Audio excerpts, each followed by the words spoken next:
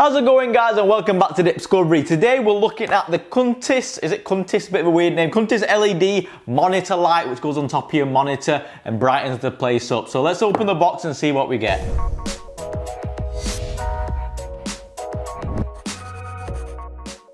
Okay, so you can typically buy this on Amazon. If you uh, have a look in the description below, there's a link that takes you through to the product, so have a look on there.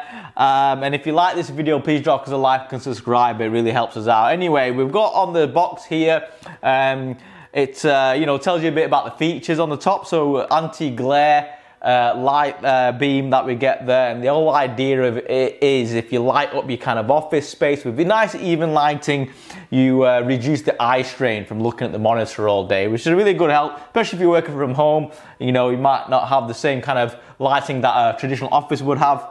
That's the whole point of getting something like this to kind of even out that lighting. So the good part things about this is an LED light. It's got adjustable color temperature as well. So you can go from uh, I think it says on the back here, uh, the color temp, where is it? I did see it. Um, yeah, so the color temp here goes from 3000K to 6500K. So basically what that means is the Kelvin uh, color temperature. So that goes from uh, 3000K, which is quite a warm white, you know, quite cozy looking one, all the way up to 6500K, which is quite a bluey tinge to it. And everywhere in between 4000K is your neutral white light across the board. So it's got that in it and it's adjustable brightness as well. So uh, yeah, let's open up the box.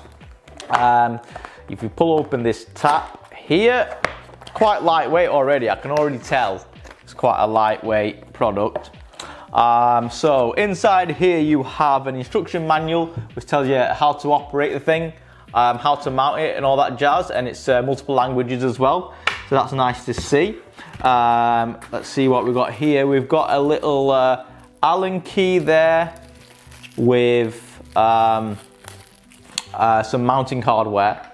So you get that as well.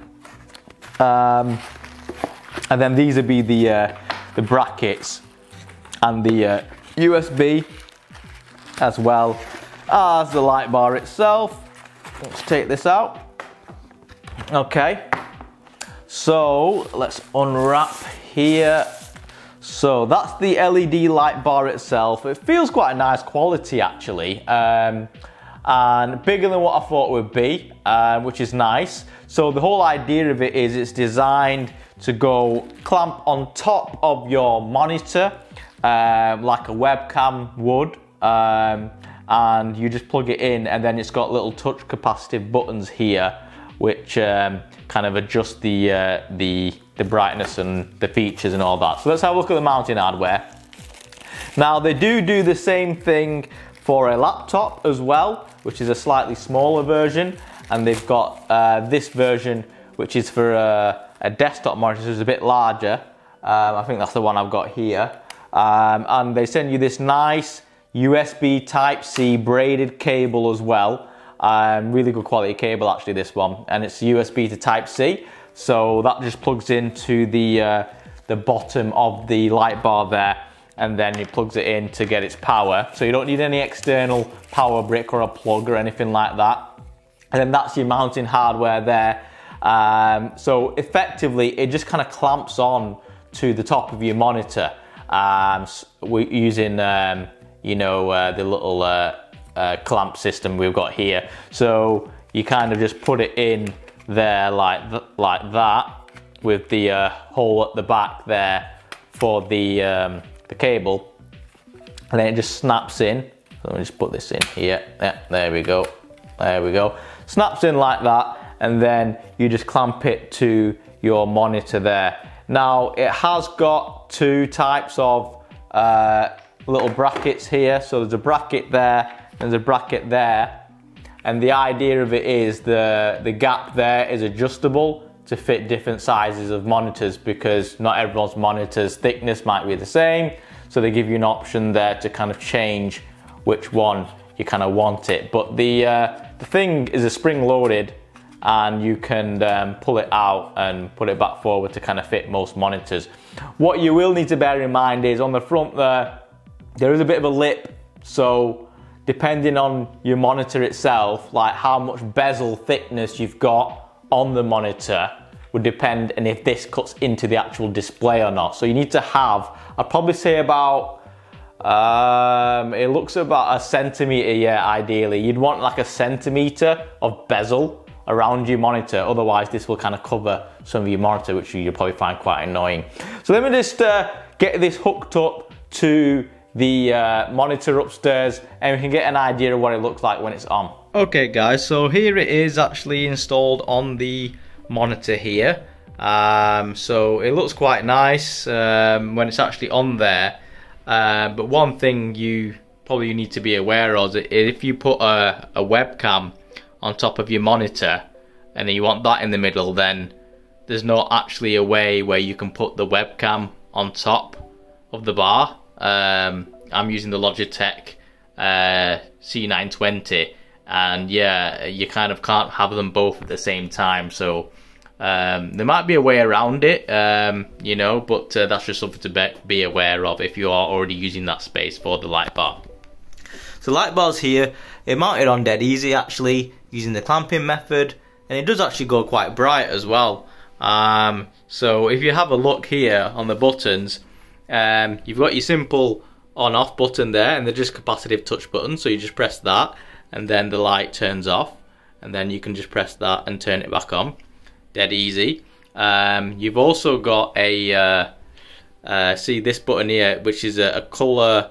Uh, it's like a brightness sensor, so it does auto brightness depending on how bright your room is. So, say for example, if I um, put this brightness down, um, so now it's like on its lower setting manually. Um, if I actually press that, um, it'll go brighter because it thinks it's quite dark above here. So if I turn that on, you can see that the light will start to go a bit brighter because it senses that it's um, it's darker in the environment. To be honest, where I've got it positioned here, it doesn't work very well because above here is always in shade because of my um, shelf here. But if you didn't have that shelf and this was just your normal kind of ceiling light, then maybe it would uh, work a bit better there. You can also change the temperatures of the, uh, the light. So if I just turn off my light in the room so you can see better. So yeah, if you press this button here, you can change the temperature of the light. So if I just press that. Okay, so now this is like a really warm 3000K yellow.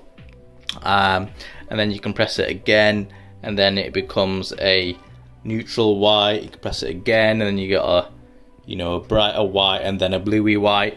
So depending on what kind of color you're after. You can also change the brightness by pressing this and it does it in a step. So you do it one, two, you know, different brightness levels like that. And you can also press and hold if you want it to gradually go up and it's the same with the color temperature. You can press and hold and do it that way as well. Um, so yeah, pretty cool. It, uh, you know, it works quite well. Just something to bear in mind about the webcam mounting and the uh, the sensor. Uh, if you want to do the auto brightness, probably not have something above it because that'll affect its performance. Um, but other than that, the actual light itself is very very bright. Um, so this is what it's like when my room lights completely turned off. Um, but if you uh, turn the room lights on you know, um, let's have a look what I've got here. Turn that back on. That's what it looks like. And then I can kind of dim it, you know, and it makes a really nice task light to uh, have while you're kind of working so you've got less eye strain. So yeah, I actually quite recommend it. Have a look in the link in the description if you think about buying one. Um, and let us know what you think of the actual uh, light bar um, if you've got any uh, questions, give us a shout and I'll be happy to answer them. Catch you on the next one, guys.